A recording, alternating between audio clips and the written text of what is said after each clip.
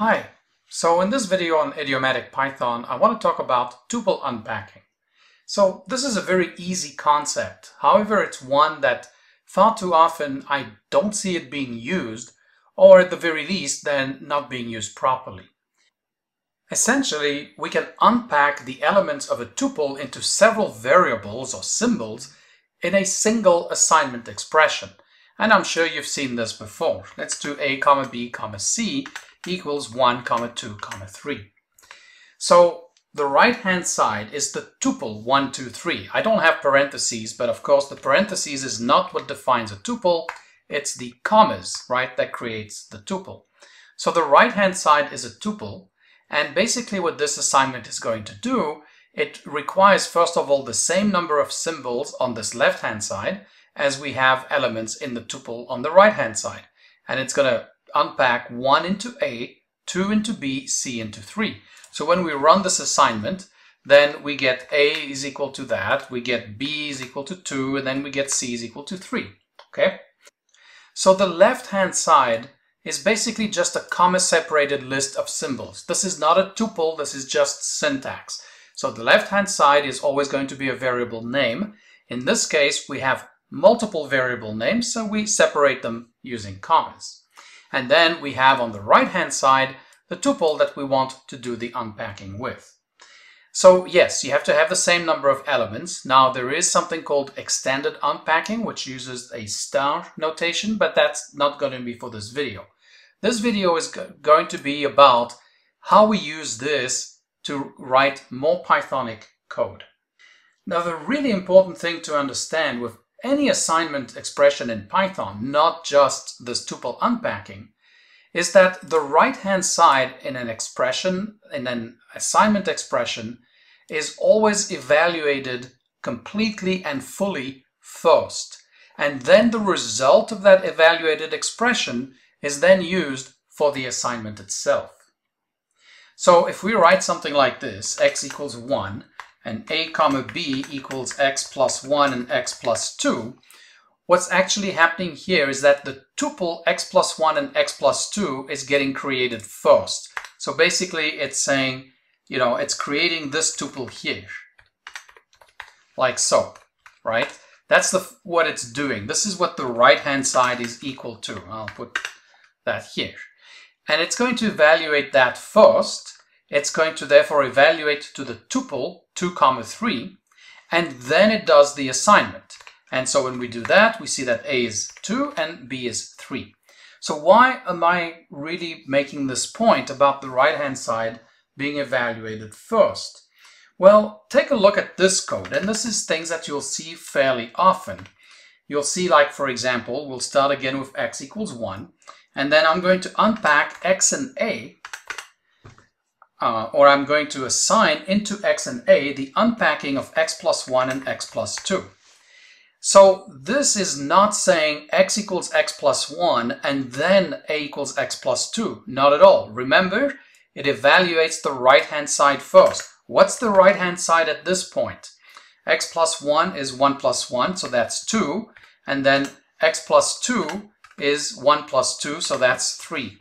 So this right-hand side expression is the tuple 2 comma 3 and then it gets assigned to x and a respectively. It gets unpacked into x and a. So x is 2 and a is 3. This is not at all the same thing as writing x equals 1 and then x equals x plus 1 and then a equals x plus 2. Because if we do that, we're of course going to get a totally different result. So x now is 2, just like we had before, but a is 4 because x was changed before we did the assignment here. And as you can see, that's not at all what happened in the unpacking here. The right-hand side is evaluated first. So one of the reasons we use tuple unpacking is when we want to do simultaneous state updates. We want to be able to, you know, make some state update. Maybe x is going to change to something and a is going to change to something, but it's based on an intermediate value of x that we've changed. We don't want that to be used you know, when we calculate a. We want the original x. Doing this, we maintain that because by the time we do x plus 2, x hasn't changed yet because the assignment hasn't happened. So that's what I mean by simultaneous state updates, and I'll show you another example of that. And the first one, the first example of that is variable swapping. Let's say we have these two variables, a equals 1, b equals 2, and we need to swap these two things around. Well, if you come from a more traditional language, then you know that you typically have to use a temporary variable to do the swap. You would do something like this. You would say temporary variable equals a, then I'm going to make a equal to b, and then I'm going to make b equal to the temporary variable. Because this way, I've now put 1 into temp, now I update a with 2, and then I need to set b to the original a. Well, I can't use a here, because if I used a, I would just have a equals 2 as well. So that's why we use the temporary variable.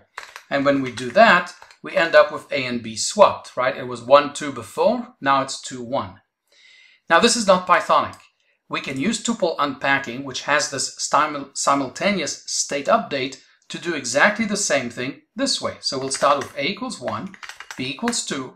To swap them around, we'll say a comma b equals b comma a. And again, because the right-hand side is evaluated fully first, what's the tuple on the right-hand side? 2 comma 1. And then once that's calculated, then we do the assignment to A and B, 1 and 2, right? So to, that was 1 and 2. Now A is going to be 2 and B is going to be 1. So if we look at the result A and B, you can see we have 2 comma 1. And this is because of not just the unpacking, but the fact that the right-hand side is evaluated fully first. So that's one example of what I mean by simultaneous state update. Now, one way that I see tuples used in what I'm going to say is not Pythonic, and this is my opinion, that's shared by many others, but not by all, is sometimes people use tuple unpacking to basically you know, define variables with their values all on one line instead of splitting it into multiple lines. Let me show you what I mean. Let's say that from math, I'm going to import pi, sine, uh, cosine and let's say tangent. And then I'm going to set x equal to pi over 3. And then I'm going to write this. I want to create a variable called sine x and I want to assign to it the sine of x. Then I want to create another variable, let's call it cosine x, and I'm going to make it cosine x. And then I'll do another one called tan x, and that'll be equal to the tangent of x. Okay, so this is perfectly fine. And what I see some people is that, I don't know why, but for some reason they think that it's better to write this sine x, cosine x, tan x equal to sine x, cosine x, and tangent x. Okay, they do that. The effect is exactly the same. We calculate sine, cosine, tan, and then we do the assignment to these variables, right? But this is not, this we do not need to do something like this for simultaneous state update. This has nothing to do with it. It's basically just writing this and avoiding, I guess, writing three equal signs. I don't know. I mean, why? Why would you write something like this? This is much clearer, okay? So this is how I think tuple unpacking is used incorrectly or in a non-Pythonic way in Python. The tuple unpacking isn't there for you to be able to define multiple variables on one line. That's not what it's for. Let's look at another example of where this simultaneous state update is very useful, that we have the ability to do that using tuple unpacking. Let's look at a function that's going to generate the first n Fibonacci numbers. Remember that the Fibonacci numbers, the first two numbers are 0 and 1, and then thereafter, every number that comes is the sum of the previous two numbers. So the next number here will be 0 plus 1, which is 1. Then the next one will be 1 plus 1, which is 2. Then 2 plus 1, which is 3. Then 2 plus 3, which is 5. Then 3 plus 5, which is 8. Then 5 plus 8, which is 13, etc., 21, and so on. Okay, you get the idea. So that's the Fibonacci sequence. And I want to write a function that's going to calculate the first n of those numbers. So if we want the first one, it should return 0. If we want two of them, it should return 0 and 1. And then it should return 0, 1, 1 if we want 3, and so on. So let's go ahead and write this. And we're going to create this function, fib, n is going to be the number that we want returned. I'm going to put a little bit of just some sanity checks here. So if n is less than 1, or we don't have an instance of an int for n, then we're going to raise a value error and we'll just say n must be an integer and at least one, something like that, okay? So that just makes sure that we have at least some valid input to our function. So the first, when we start at the beginning of the sequence, the first number is zero, the second number is one. And then we're going to have to calculate the next number or the new number. So the new number, initially I'm just going to set it to zero, but that's just because I want to initialize it. And then we're going to say for underscore, so I don't really care about the actual iteration, you know, the loop value here. So that's why I use the underscore. And I'm going to, you know, basically yield what? Well, I'm going to yield the first number. So the first number is going to be zero. The first time this loop runs, right, it's going to yield first. And I'm using yield. This is another Pythonic trick, and I'll talk about that in a subsequent video on using generators and generator expressions to make your code more Pythonic. But here, by using a yield, I don't have to go through the extra steps of building up a list and appending to the list and then returning the list. That's a lot of extra code that I don't need to be writing. If someone wants a list out of these things, they can just call the function and make a list out of it by passing it to the list function. Much simpler than me doing all the work here on, on doing that. As well as being, of course, more memory efficient if somebody doesn't want the list, or if somebody creates fib 10 million but only iterates through the first five elements, using a generator like this, using a yield, it's only you know incurred the penalty of calculating the first five Fibonacci numbers. All right, so anyways, that's why I'm using yield. Now, once it's yielded, it needs to calculate now what the new number is going to be. And basically, our, so if you think, right, initially, our first number is 0 and 1. Once we've yielded 0, what happens? The new number is going to be 0 plus 1. So the new number is going to be the first plus the second. Now the first number becomes what the second number was, right? we we're basically moving our, you know, think of this like an arrow pointing to whichever element we're on right now. We just yielded the first element, so now we move to the next one, which means the first element becomes 1 and the new number is 1. So the new number is first plus second.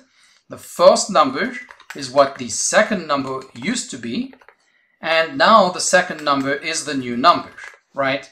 So I had to do it this way. I had to have this temp variable, kind of. You could have think, you know, named this temp if you want. So temp equals first plus second, first equals second, and this is why I needed that because when I calculate the new number, I need the original first number, not the new first number, right? So that's why I had to do it this way. Okay, and that's it for the Fibonacci function. So now we can actually call, we can make a list out of it, and we can call fib, let's say 8, to get the first 8. And of course I got a bug somewhere, uh, not is instance, okay? So let's run that. So as you can see, we get 0, 1, 1, 2, 3, 5, 8, 13 as expected. But now the way that we can use tuple unpacking allows us to get rid of this whole temp variable, which is very similar to how we were able to get rid of the temp variable when we did swapping, right, of, the, of uh, two variables. So I don't need this anymore. I'm still going to yield first, but then what I'm going to do is I'm going to say, well, first and second, the first is equal to the original second, and the second, now, number is going to be the first plus the second.